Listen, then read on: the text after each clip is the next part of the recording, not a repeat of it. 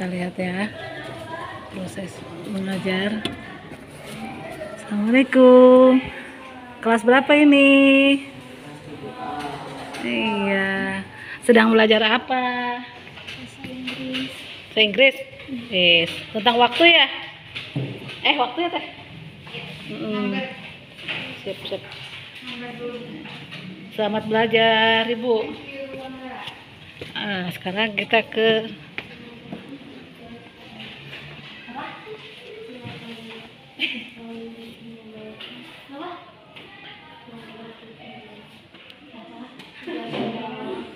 tentang struktur bahasa ya. Tentang struktur bahasa. Ini kelas ini ini. Kita menuju ke ini. Saya sedang belajar menggambar mahkota bunga. Mahkota bunga itu fungsinya untuk apa ya?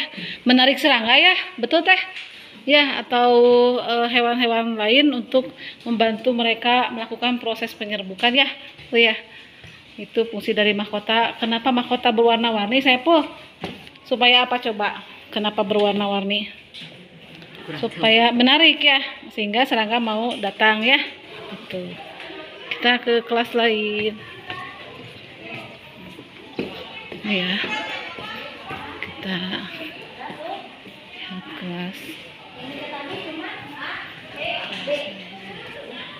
sama-sama Bu Meti belajar matematika. Tentang apa Bu?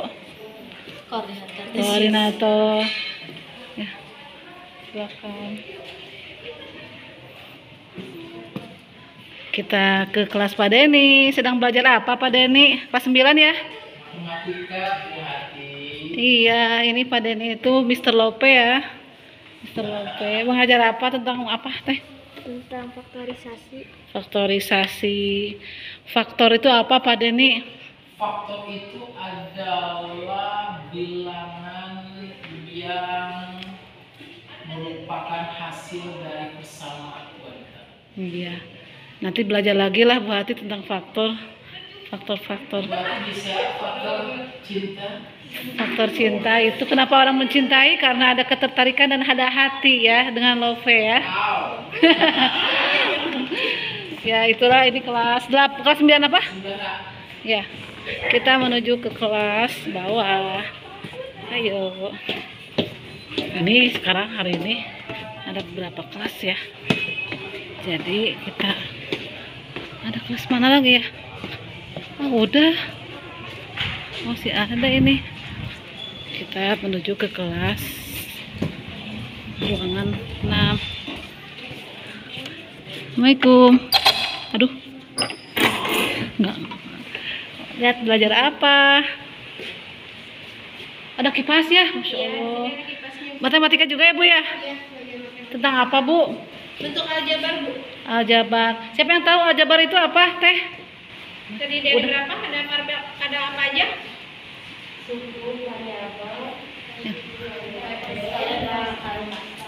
ulangi lagi. Ada apa suku? Suku variabel koefisien konstanta. Iya pinter. Silakan lanjut belajar lagi. Ini lagi ngerjain apa?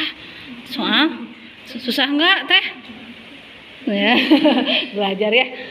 Nuhun ibu. Ya. Ya assalamualaikum. Assalamualaikum. Salam. Hmm, kelas 7 kita ke kelas apa lagi ya ada enggak ya? Oh kita Assalamualaikum.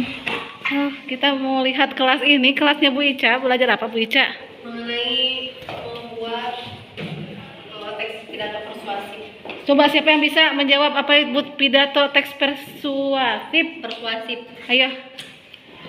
Asik. Boleh baca nggak apa-apa. Sok.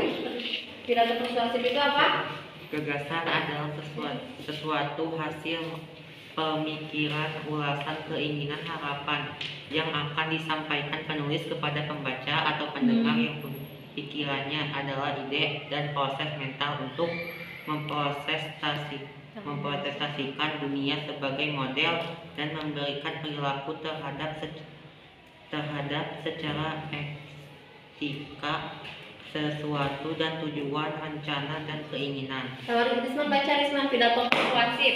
Pidato persuasif itu apa?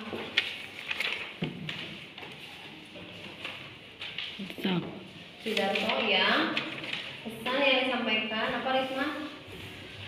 Pesan yang disampaikan pada kesepakatan Apa karya oleh seseorang pembicara yang hadir untuk mempengaruhi pilihan halayak melalui peng pengkondisian, penguatan atau pengubahan tanggapan atau respon mereka terhadap gagasan, konsep atau produk.